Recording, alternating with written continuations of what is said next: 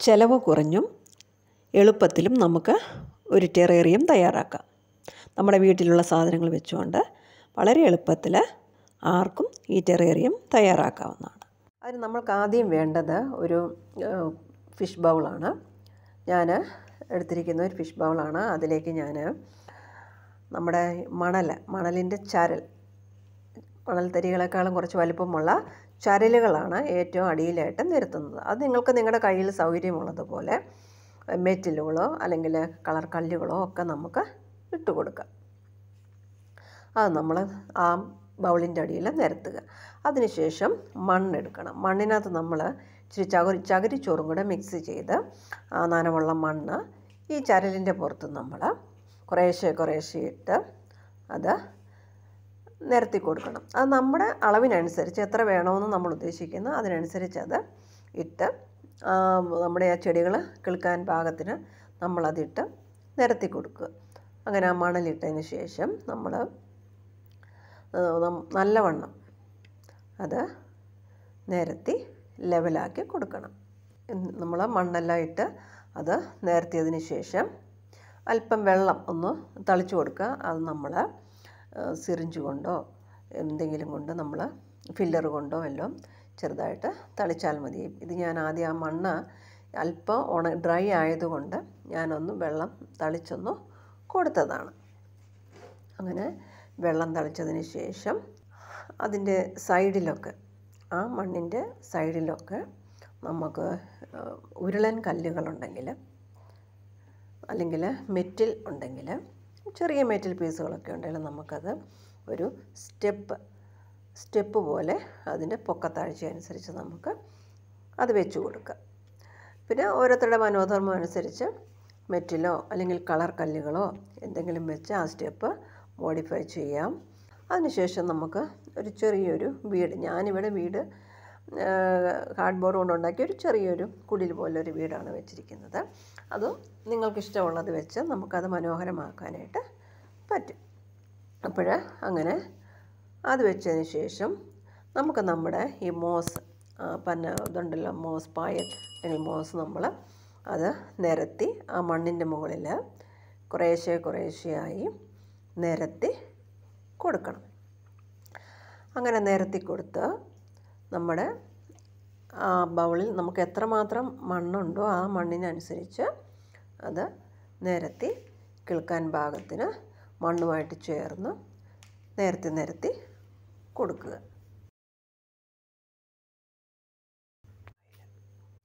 മോസിന്റെ കൂടെ നമുക്ക് ഇച്ചിരി വലിയ ചെടികളും കൂടി നമ്മുടെ ബൗളിനകത്ത് വെക്കാം. അത് നല്ല ഭംഗിയാകും. അത് നമുക്ക് ചെറിയ ചെടികളുണ്ടല്ലോ.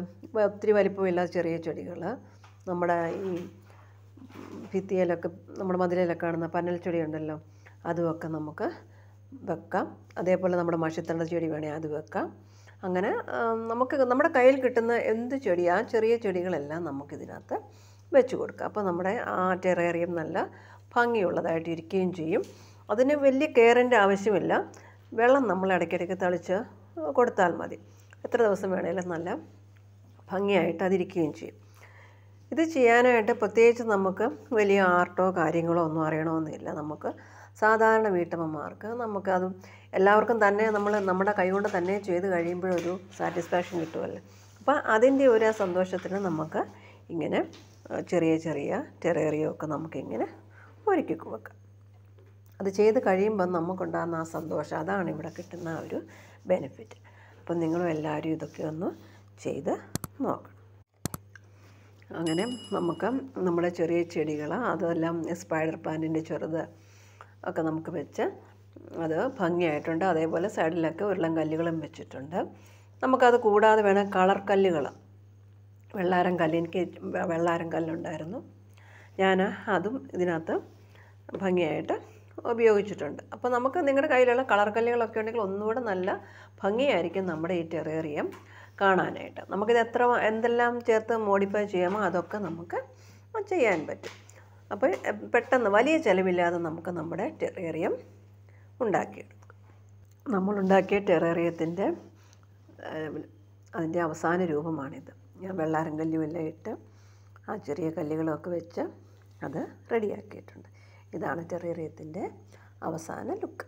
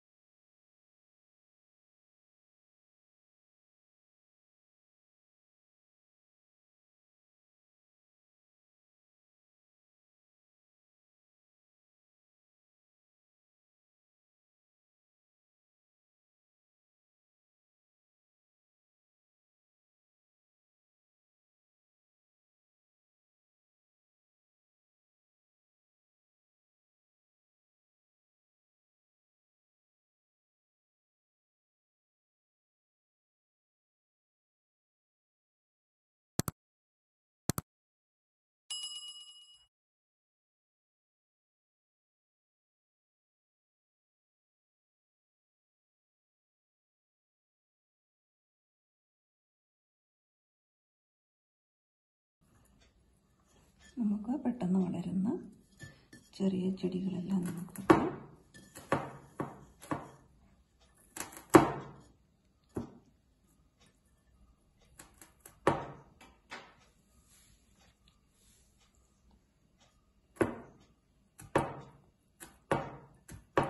ഇപ്പോൾ നമ്മുടെ ചിലവ് കുറഞ്ഞ ആർക്കും ചെയ്യാവുന്ന ഒരു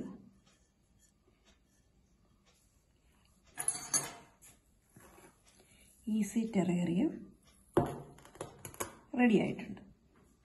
ഇത് നിങ്ങൾ ഒരു വലിയ കലാകാരികളൊന്നും അല്ലെങ്കിലും ആർട്ടൊന്നും അറിയത്തില്ലെങ്കിലും വീട്ടിലിരിക്കുന്ന എല്ലാവരും ഒക്കെ ഒന്ന് ട്രൈ ചെയ്ത് നോക്കണം. അത് നമുക്ക് ചെയ്ത് കഴിയുമ്പോൾ നമുക്ക് അതിന് ഉണ്ടാകുന്നൊരു സാറ്റിസ്ഫാക്ഷൻ എന്ന് പറഞ്ഞാൽ അത് ഒരു നമുക്ക് പറഞ്ഞറിയിക്കാൻ പറ്റാത്ത ഒരു സന്തോഷമാണ്. എല്ലാവർക്കും ഇഷ്ടപ്പെട്ടെങ്കിൽ നിങ്ങളും ഇത് ട്രൈ ചെയ്യണം.